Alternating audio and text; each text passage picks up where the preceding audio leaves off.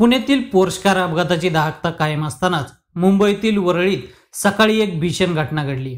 भरधाव आलिशान कारनं एका दुचाकीस्वार जोडप्याला जोरदार धडक दिली या अपघातात दुचाकीवरील महिलेचा जागीच मृत्यू झालाय. घटनेनंतर आलिशान कारनं दुचाकीवरील महिलेला काही अंतरावर फरफटत नेल्यानं महिला गंभीर जखमी झाली आणि त्यातच त्यांचा मृत्यू झाला.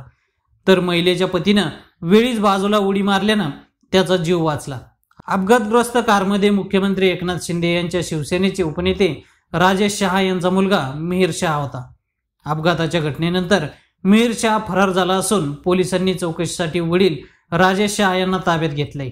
या घटनेवर मुख्यमंत्री एकनाथ शिंदे नेमकं काय म्हणाले पहा. माझी चर्चा पोलिसांबरोबर झाली सकाळी. खरं म्हणजे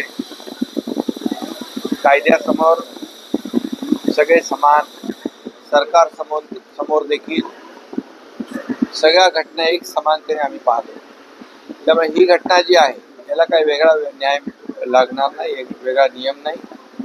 जे होईल ते कायदेशीर होईल. कुणालाही पाठीशी घालण्याचं काम पोलीस करणार नाहीत.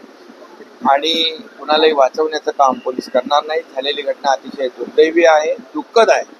आणि म्हणून या घटना वारंवार होऊ नये यासाठी देखील शासन म्हणून नक्कीच यामध्ये गृह विभाग नक्की उपाययोजना करेल. परंतु या केसमध्ये कुणालाही पाठीशी घातलं जाणार नाही.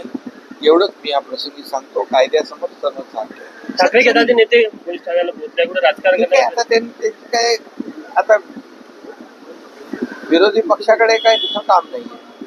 त्यामुळे पहिली गोष्ट तर असं समजण्याचं कारणच नाही की या घटनेमध्ये कोण कुणाला पाठीशी घाले जरी तो कार्यकर्ता शिवसेना पक्षाचा असला तरी सुद्धा सर्वांना समान न्याय लागू करण्याचं काम आपलं सरकार या राज्यामध्ये सर्वसामान्य माणसाचं सरकार आहे आणि या राज्यामध्ये सर्वांना समान न्याय देण्याचा देण्याची भूमिका सरकार रात्री महायुतीच्या नेत्यांमध्ये बैठक झाली का? रात्री महायुतीच्या नेत्यांची बैठक झालेली आहे. विधान परिषद निवडणुकीला घेऊन रणनीती ठरलेली आहे. विधान? परिषद विधान परिषदेच्या निवडणुका नऊ जागा आमच्या आहेत. महायुतीच्या आम्ही नऊ जागा जिंकणार आहोत.